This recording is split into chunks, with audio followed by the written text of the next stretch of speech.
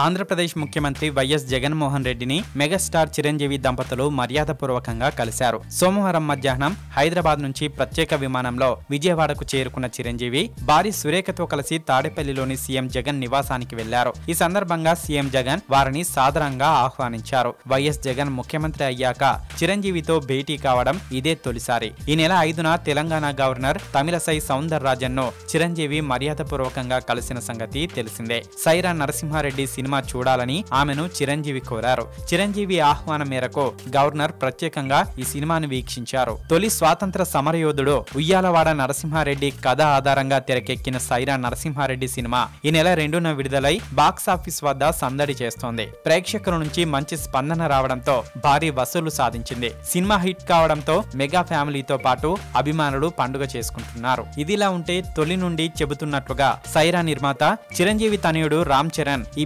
భేటీకి గైర్హాజరయ్యారు. సైరా ప్రత్యేక షోలకు అనుమతి ఇవ్వటం ముఖ్యమంత్రిని చిరంజీవి కలవాలనుకోవడంతో సీఎం జగన్ ఆహ్వానం మేరకు ఈ విందును ఏర్పాటు చేశారు. అయితే రామ్ చరణ్ చివరి నిమిషంలో రాకపోవటం పైన పలు అనుమానాలు షికారు చేస్తున్నాయి. ముఖ్యమంత్రితో చిరంజీవి రామ్ చరణ్ భేటీ ఖరారైన తర్వాత సోషల్ మీడియాలో నాడు జగన్ అరెస్టు సమయంలో రామ్ చరణ్ చేసిన కమెంట్లను గుర్తు చేస్తూ పోస్టింగులు దర్శనమిచ్చాయి. దీనిపైన వైసీపీ నేత సైతం వివరణ ఇచ్చారు. అయినా రామ్ చరణ్ హాజరు కాకపోవడం పైన కారణాలు అనేది ఇప్పుడు ఆసక్తికరంగా మారుతోంది.